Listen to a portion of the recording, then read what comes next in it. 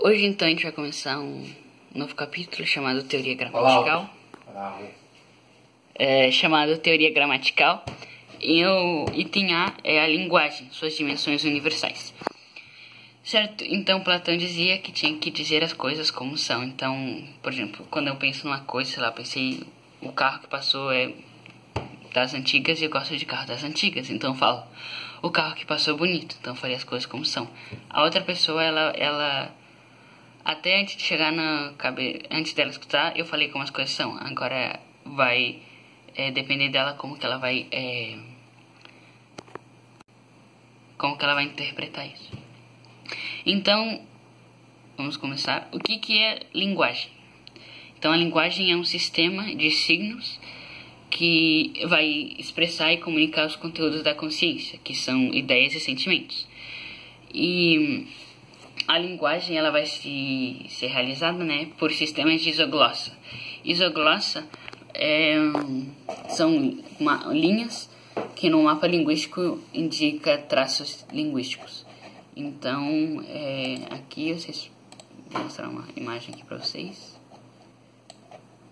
Então aqui, ó, essas linhas aqui falam, ah, aqui em cima vai falar o A, aqui vai falar o E, aqui vai falar o O ó lá o, então esse é, vai ser um uma, iso, uma isoglossa é, então, e também pode ser chamado como línguas. E para é, entender o que é línguas a gente tem que ter uma noção preliminar né do que é sistema, signo, símbolo e intercomunicação social. Então o sistema é um conjunto de unidades que estão é, organizadas de uma forma para uma certa finalidade ou certas finalidades. Então, o sistema é, digestivo tá o, tem, primeiro tem a boca, depois o esôfago e o é, intestino e tal.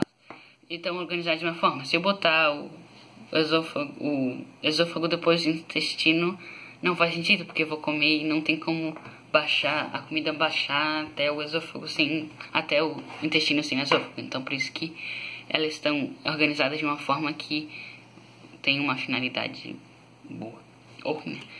É, também é um signo, é um, algo que eu conheço e que esse é, vai mostrar algo diferente. É, é um, meio que um símbolo.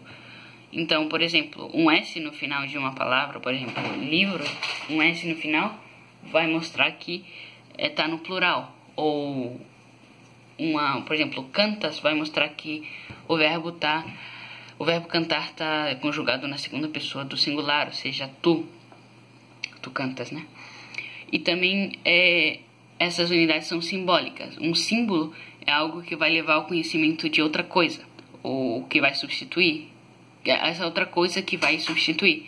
Por exemplo, é, ali, né, um cordeiro é algo manso, tipo, uma, porque uma pessoa que é como um cordeiro, não é que ela é gorda e tem quatro patas e é branca e tem muito pelo, mas sim que ela é mansa. Então, isso vai, vai ser uma sombra do que, na verdade, é a verdade, né?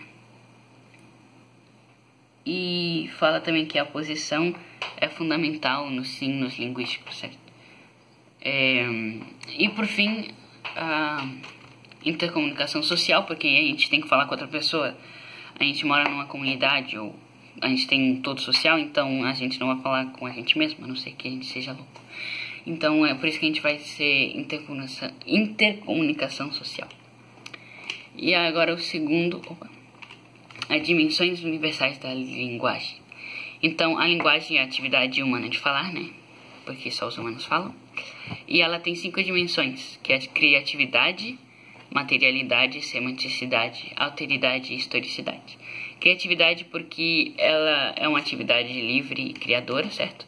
E também é, é uma atividade para o espírito que vai que a gente vai mais que aprender, mas meio que vai não a gente não vai só repetir, mas vai ficar dentro do da cabeça lá.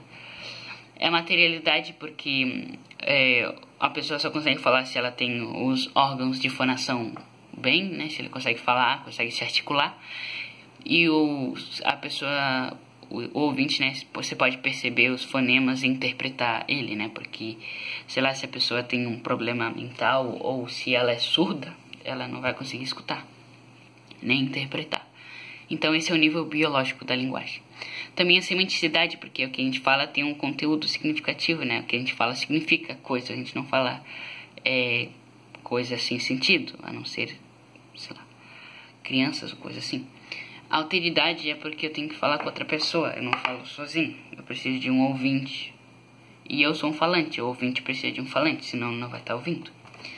E a historicidade porque a língua está junta com a história, por exemplo, não existe junto, junto com a história, é, a tradição linguística com a comunidade, por exemplo, não existe uma língua